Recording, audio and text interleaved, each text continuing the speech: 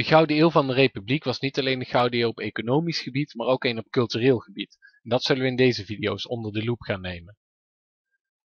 Het beleid van die republiek was wel echt gericht op de economie. En daar waren ook goede redenen voor. Want uh, veel regenten uh, die, die waren zelf handelaar geweest, of die kwamen in ieder geval uit families waarin veel handelaars zaten, die rijk waren geworden van de handel. En dus ze hadden altijd hun eigen belangen of die van hun familie hadden ze toch wel in hun achterhoofd. Zij keken gewoon eenmaal met een handelsbril naar uh, de wereld en dus ook naar het bestuur en beleid van die republiek. Daarnaast was het ook zo dat er gewoon veel geld nodig was en dat de economie dus wel goed moest gaan, omdat die Nederlandse opstanden eenmaal heel veel geld kosten. Het kostte nogal wat om al die duizenden soldaten in te huren. Het kostte nogal wat om al die oorlogsschepen te bouwen en te onderhouden. Dus daarom dat uh, het beleid van die republiek gericht was op de economie, maar dat had dus ook culturele gevolgen. Want die economie die groeide dus en in die groeiende economie waren heel veel migranten nodig. En hier zien we bijvoorbeeld uh, de groei van die uh, republiek en dus ook van de economie eigenlijk weerspiegeld in de bevolking van Amsterdam over een langere periode. En je ziet dat die heel sterk stijgt. Dat uh, Amsterdam uitgroeit tot de grootste stad van de Republiek met uh, meer dan 200.000 inwoners. En dat is dan ook echt een symbool eigenlijk van die groeiende economie van die Republiek. Want een goede economie betekent veel werk en dat betekent dat het aantrekkelijk is voor mensen om naartoe te komen.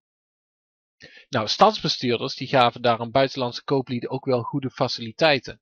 Uh, ze maakt het aantrekkelijk dus voor mensen om ook naar hun stad, Utrecht, Haarlem, Leiden, Delft, Amsterdam, weet ik veel wat, te komen.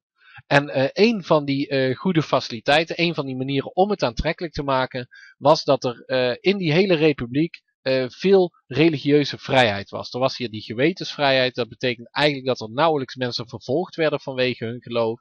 En dat je dus uh, op religieus gebied ja, niet kon doen en laten wat je wilde. Want er waren wel degelijk regels en dergelijke. Maar er was hier wel veel meer vrijheid dan in andere landen. En dat zorgt ervoor dat verschillende religieuze groeperingen richting die republiek trekken. En daaruit blijkt dus ook weer die bijzondere plaats in staatkundige opzicht en die bloei in economisch en cultureel opzicht van die Nederlandse republiek. En ook, het gaat hier dus weer eigenlijk over uh, die handel, want het is toch vooral ook om kooplieden aan te trekken en ook om andere uh, goedkopere werkkrachten aan te trekken. Dit slaat dus ook weer terug op dat kenmerkende aspect van die wereldwijde handelscontacten. Want zo komen er dus bijvoorbeeld een heleboel uh, protestanten die elders in Europa vervolgd worden of hun geloof niet goed kunnen uitoefenen naar die Calvinistische republiek. En zo komen er ook een heleboel joden, zowel uit Oost- als uit Zuid-Europa, naar die republiek. En dat zorgt ervoor dat in uh, eh, 1639 in Amsterdam begonnen wordt met de bouw van de Portugees-Joodse synagoge. En hier zien we de opvolger van die synagoge, die een tiental jaar later gebouwd zal worden. Dit is niet het eerste gebouw, want dit is al veel groter. Maar dit was dus om Portugese Joden ook in Amsterdam gevestigd te krijgen. En waarom dan per se die Portugese Joden, uh, die Zuid-Europese Joden? Nou, dat komt omdat die vaak rijker waren dan die Oost-Europese Joden. Die kwamen dus ook heel veel, maar die kwamen toch vaak in uh, ja, slechter betaalde beroepen terecht. Dat werden goedkope werkkrachten. Maar die Portugese Joden, die brachten heel veel kennis en kapitaal en handelscontacten met zich mee. Dus het was natuurlijk wel aantrekkelijk om die groep binnen je stadsgrenzen te hebben. Ja, nogmaals, hieruit blijkt dus al die bijzondere plaats van die republiek in die 17e eeuw. Maar uh, wat die republiek ook bijzonder maakt in die 17e eeuw is eigenlijk de opbloei van de hele cultuur. Door die relatief hoge welvaart die er in de republiek was, was er een grote markt voor luxe goederen. En dan moet je dus denken aan uh, schilderijen en aan uh, allerlei literaire werken, aan boeken.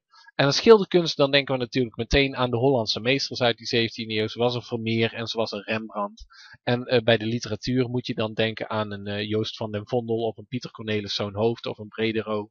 Allemaal uh, mensen die echt een stempel drukten op de literatuur in die tijd. En die echt klassieke werken hebben gemaakt, net zoals die schilders dat ook deden.